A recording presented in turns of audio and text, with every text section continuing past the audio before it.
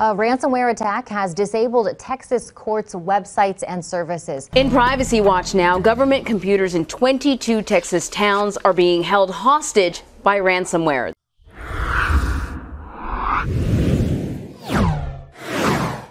Ransomware is exactly what it says. Uh, of course, you've heard of adware, malware, spyware, where somebody infects your computer uh, or any of your, your electronic equipment. Ransomware simply means that if you want access back to your data, you have to pay a ransom. Just like when they used to kidnap somebody in the movies, they may or may not get the person back. And if you don't pay the ransom, you don't have access to your computers. Yeah, and how bad it is uh, in reality throughout uh, the United States and possibly other countries. Well, it, it it's it, it's really escalated the last three years. Uh, the first attack was back in 1989 um, with floppy disk, Ernesto.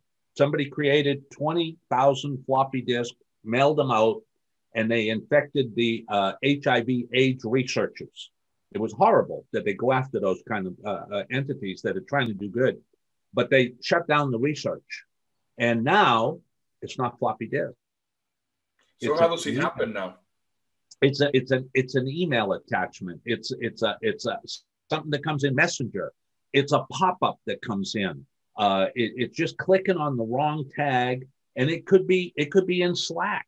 It could be in, in Dropbox. It could be a, a hyperlink of a document that a, a coworker shared with another coworker. But we're we're clicking on wrong things that allow the crooks to get into our network. So who who are the uh, crooks actually targeting? I mean, they must have a target specific in mind. Well, they, are going after no nobody's immune. Number one, but but I get this question a lot, and and I think the best way to answer it is they're going after the medical community, they're going after the educational community, they're going after social social workers uh, type of community, and they're going after the small to medium sized businesses. And here's why: they're pro-social orientated type businesses. They they believe in a benevolent society. They want to heal. They want to they want to teach. You know, they want to uh, help with social work. And so, therefore, those people are more likely to fall for the social engineering aspects of ransomware, which is which is the art of deception to manipulate somebody to give up information they normally wouldn't give up, but because they live in this benevolent world, they're at a higher risk. And then the small business, they just don't have the resources to fight against it.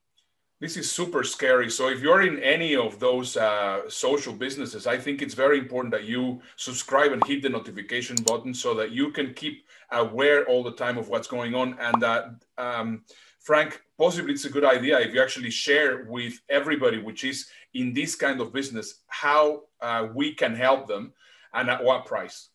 well, and and that, and that's what's interesting because uh, Ernesto, if they just contact us with the information below, reach out to us. Um, ninety-five percent of my clients that I help around the world, uh, I don't charge them, uh, and and none of us do, uh, for helping them to build a culture of awareness to help them and their staff understand it.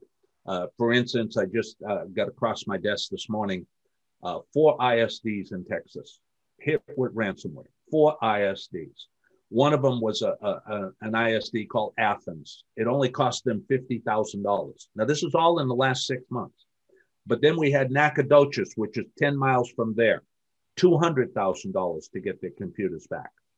Then Sheldon ISD, right down here in Houston, last week, $350,000 to get their stuff back.